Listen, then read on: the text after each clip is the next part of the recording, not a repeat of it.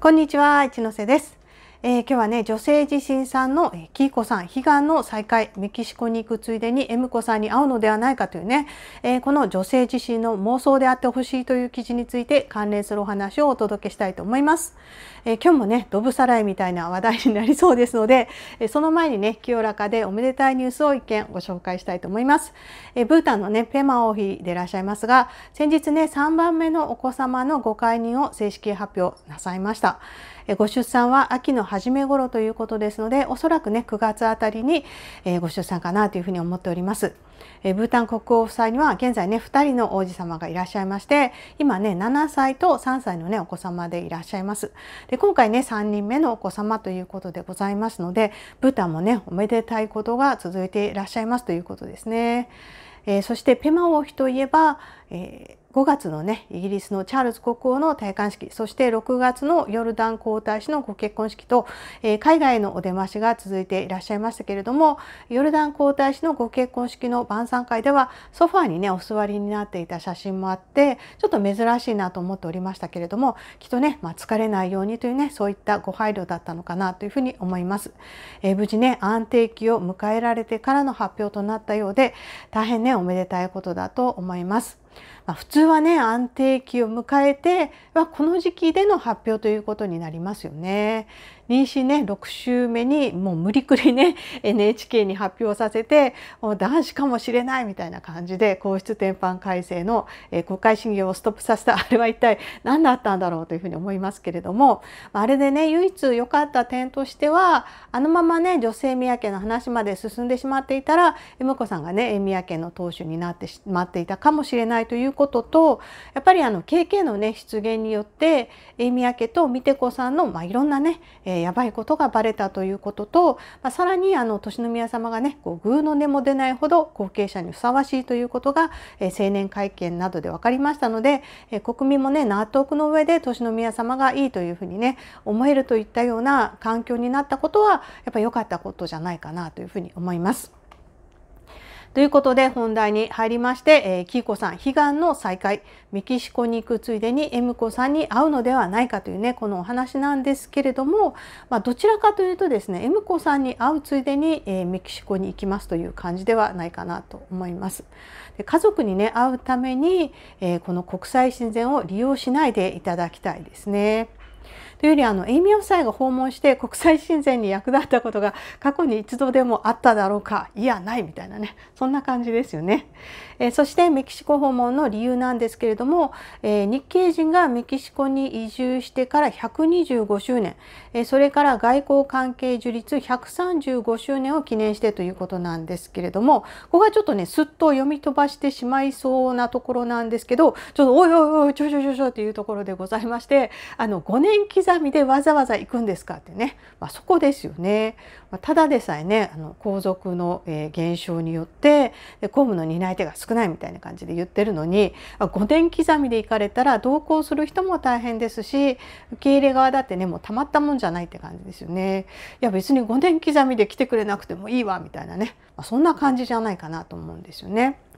でまあメキシコ政府には是非ねあのあと5年待っていただいて、えー、日本人のねメキシコ移住130年そして外交関係樹立140周年で、えー、招待をね、えー、出していただければ多分ね年宮様のねご留学も終わっているところですし、えー、おすすめでね年宮様が行けるかもしれませんよというようなことで、まあ、悪魔のささやきと申しますか誘惑のささやきをして差し上げたいなと思います。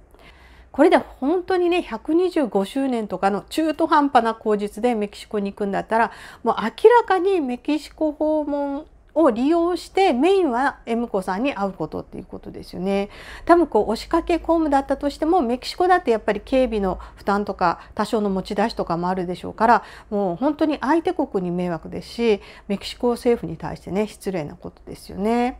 まあ、あの親子なので会いたい気持ちっていうのはすごくわかるんですけれどもでもその前に国民に説明することがあるんじゃないですかっていうことですよね。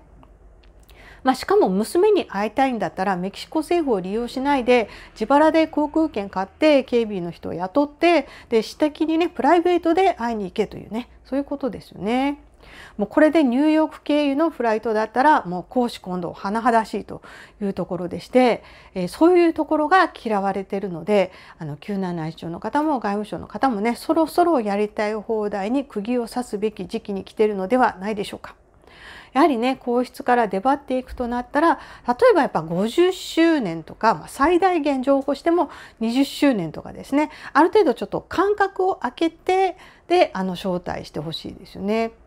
でちなみにあのブラジルについてなんですけれどもやっぱりあの日系のね移民の方が多いということであの10周年ごとにね皇族の方がどなたか行ってらっしゃるみたいなんですね。で1988年のエイミヤさんの初めての海外公式訪問が、移民90周年の、ブラジルであったというねことでございます非常に興味深いですねこの時の TBS さんの映像を概要欄に記載しておきますけれども、ブラジルのなんかスタジアムみたいなところでねあの歓迎のマスゲームみたいなのがされてるんですよ。なんですけどそのマスゲームで「万歳」っていうね文字がアルファベットで刻まれているんですけれども それが安西に見えてしまうと私は少しね、え、疲れ目が進行しているかもしれません。ということで URL をね記載しておきますのでご覧ください。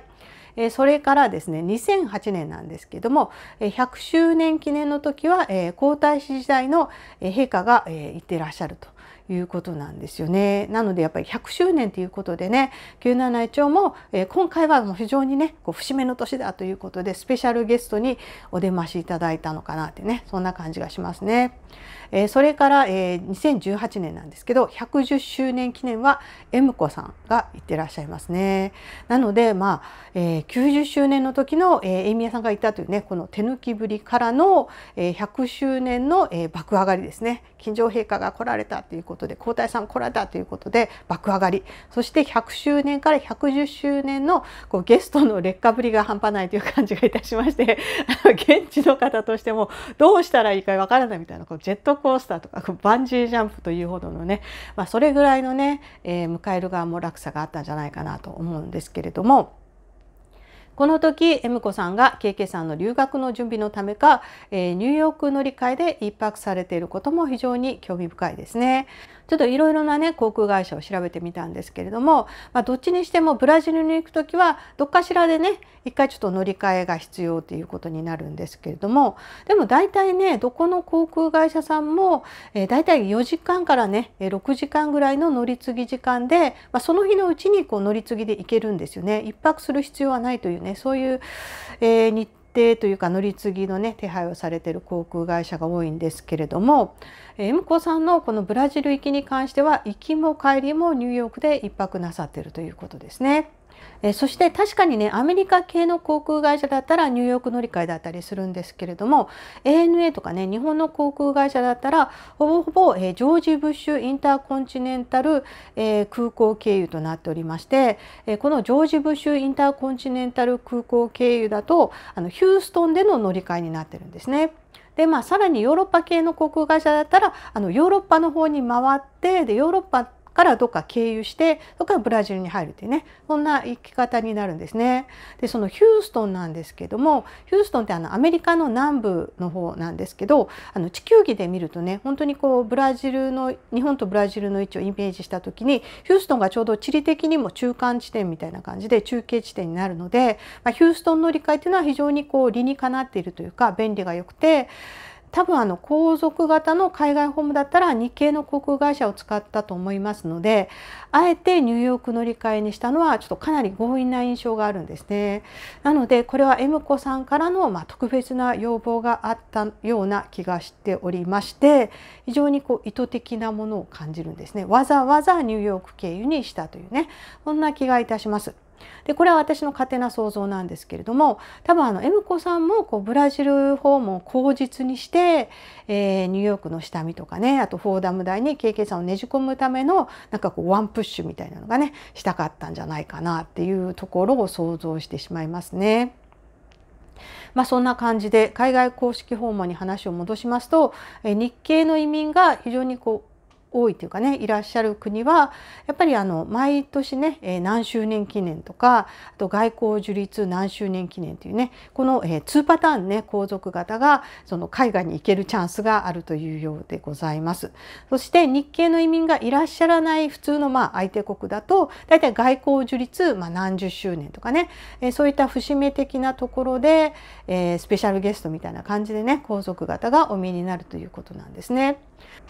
ちなみに黒田清子さんが紀宮様時代にブラジルにね行かれたことがありましたけれどもあれは1995年のことで、えー、こっちの方は、えー、日本ブラジル就航100周年記念の、えー、記念式典に行かれたということですね。まあ、そういう意味ではね日系の移民がいらっしゃる南米は、まあ、2度美味しいと言いますかね、まあ、行く理由が2種類ありますので、えー、行く口実が作りやすいということが言えるのかなと思います。